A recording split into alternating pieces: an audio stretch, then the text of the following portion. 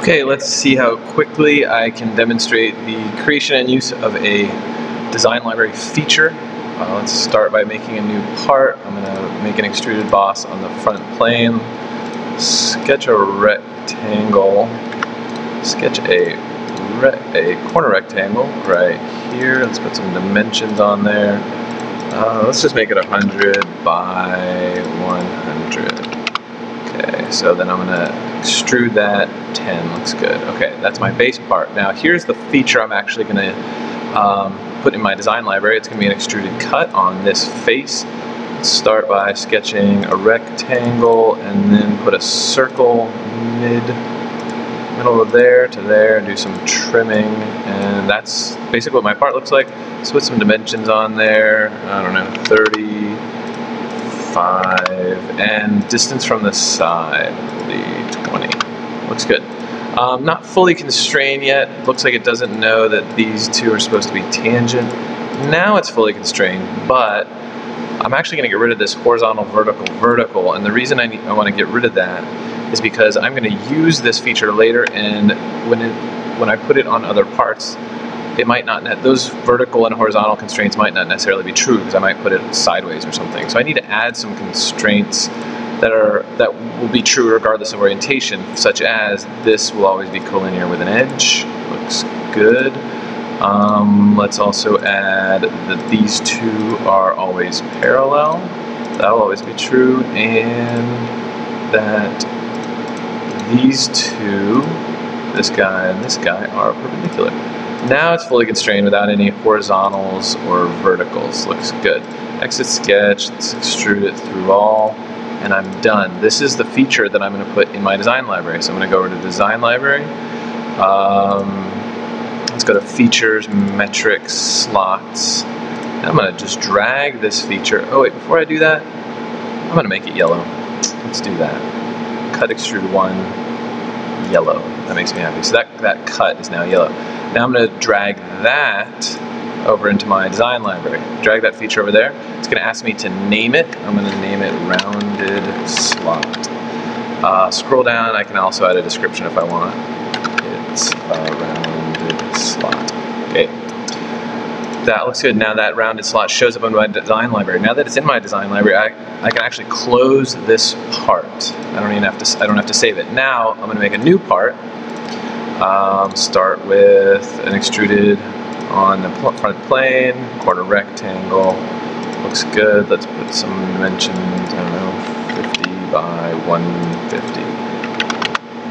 Okay, now I'm going to extrude that, I don't know, 20. Alright, now I'm going to add some slots to this, and I can do that by my feature that I created. I'm going to drag a slot onto here, and it notice it's asking me for two reference edges. Those edges are referenced in the sketch of my original feature, and I can see my little preview over here. It's asking me, showing me what edges it's talking about. So I just need to reference those same edges, and there's my nice little yellow slot. Cool thing is I can put it another one over here if I reference this edge and this edge again. So I can now put multiple copies of that feature in there pretty quickly. The, what I'd like I'd like to make this a little more flexible. One thing I'd like to do is I'd like to actually be able to specify the distance from the edge.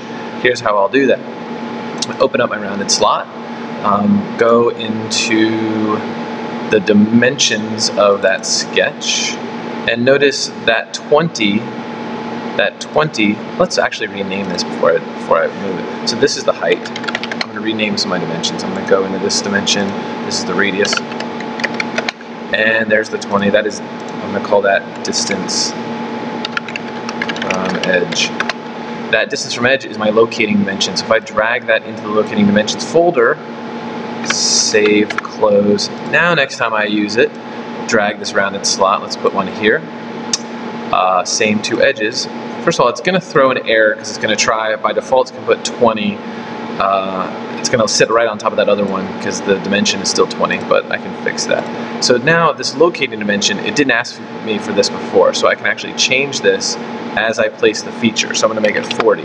So now every time I add one of these features, it's going to ask me for that dimension, which is pretty cool. Let's make it even more flexible by going into my rounded slot. Um, I'm going to go into my sketch, I'm going to take a look at those dimensions, and I'm actually going to make these two dimensions configuration dimensions. So that radius of 5, I'm going to make a new configuration called little slot. And instead of 5, I'm going to make that 2.